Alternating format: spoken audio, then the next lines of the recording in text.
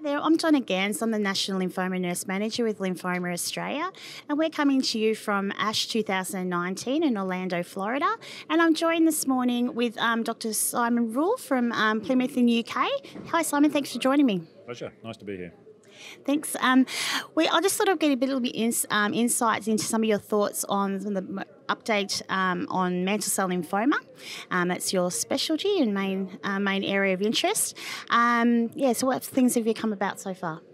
So a couple of things. I mean, there's been um, extended data in ibrutinib. So I presented a poster with a seven and a half year follow up of patients on the on, on ibrutinib, single agent for mantle cell lymphoma. Important information, really showing no late toxicity. So if you're on the drug, you don't see emerging side effects, which is important for patients to know. There are a number of patients, just under 10%, who are still on the drug out of the original 370. I've got a couple of patients who've been on the drug almost eight years now. So you do see some very long responders. Yep.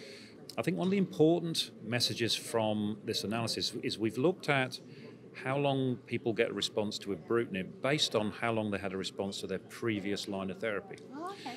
And generally, with lymphoma, and this applies with follicular uh, as well as mantle cell lymphoma, when you give chemotherapy, the next time you give chemotherapy, you don't get as good a response. You know, so your best treatment is your first treatment; it gets less and less benefits. So what we showed was with the patients that got the best response with chemotherapy, who then got ibrutinib, they're the ones who got the best response to ibrutinib, and generally that was at least a year longer than they'd had with their chemotherapy. So this is a complete step change. So seeing a treatment that works better than your first one is unusual. It's very reassuring for patients, but it basically just proves that you should use this drug as early as possible in the relapse situation.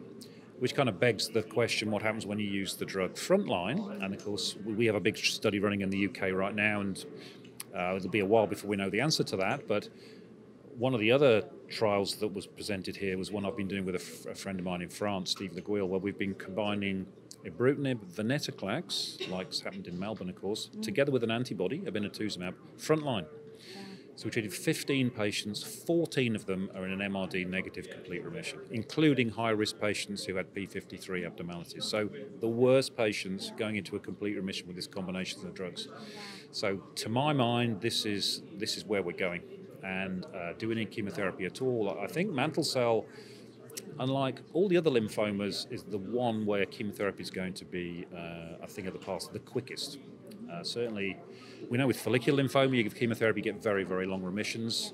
Patients are well for a long period of time off treatment. It's difficult to challenge that right now. Diffuse large B cell, nothing really better than R-CHOP. Uh, and but for mantle cell, um, I think we're challenging chemotherapy right now, and these new combinations could be very exciting. Are there certain patient, uh, mantle cell patients would probably respond uh, better without having chemotherapy compared to other patients? Well, generally, we um, we consider those who have the p53 mutation to be the worst patients. That's yeah. around six to eight percent, and we know those patients don't respond well to chemotherapy, don't generally respond well to ibrutinib. So it doesn't matter what you use; it doesn't work very well. Mm.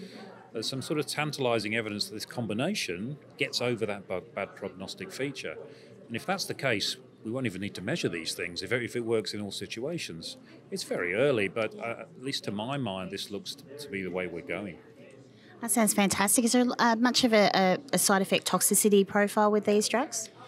combination? Yeah, as soon as you put combinations together, you get more than. I mean, I, I, I don't like this term chemo free. I mean, drugs that kill cells, it's, I mean, it doesn't matter what you call them. I think we have to be specific about side effects for different treatment regimens, okay? And chemotherapy means drugs that kill cells, and uh, there are lots of drugs that we now call chemo free, which in fact are chemotherapy. So I, I think that term's not very useful.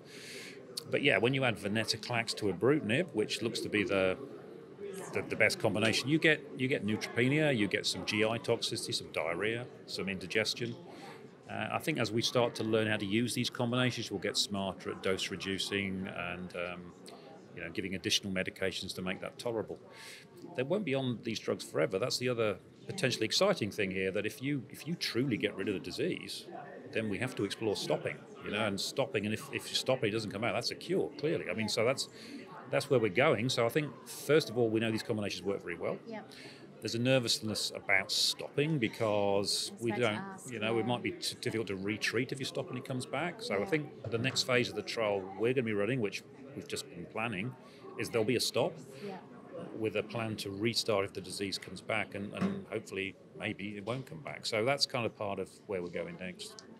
So the trial at the moment is currently just patients to go on that until they progress, or Yep. okay, um, but you're looking at maybe a two-year sort of. So, so there's a defined period of the venetoclax and the antibody, but the ibrutinib continues to progression. So, you know, even even a well-tolerated drug like ibrutinib, as a patient, you'd rather be on nothing. So, I think that our goal is to stop everything and maintain complete quality of life. I think that's where we have to go. Fantastic. And have you got any comments on um, CAR T cell therapy and mantle cell lymphoma? Uh, but you're about three hours too early because that's been presented this afternoon. Um, I mean, the, from, the abstract, it looks it looks highly active.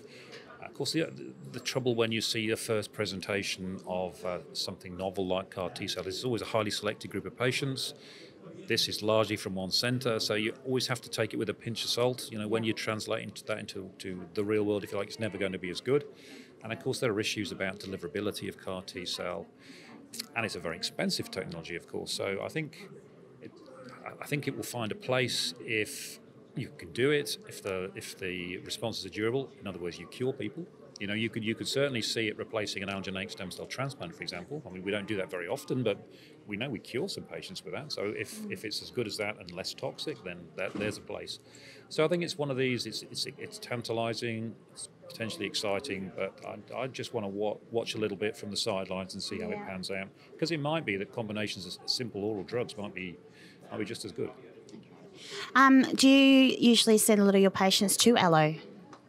Very few. Um, we know with the P53 group of patients, young patients, so that's 6 to 8%, if you give them chemotherapy, you do an autologous stem cell transplant, they relapse early and they do badly. And if you give them ibrutinib, it doesn't work very well. So in that setting, uh, that's the only group of patients I actually check it. So if I find P53 mutation in a young patient, I will do an allo as my first treatment. So I'll get them into remission, then I'll do an allogeneic stem cell transplant. Now, that's controversial. Um, A lot of people don't believe that's what you should do, but in my opinion, that's your best chance of, of getting disease control and potentially curing patients. Thank you, um, Simon. That's fantastic insight, and um, hopefully we'll find out a little bit more this afternoon with that session. Thank you so much. Pleasure. Nice to be here.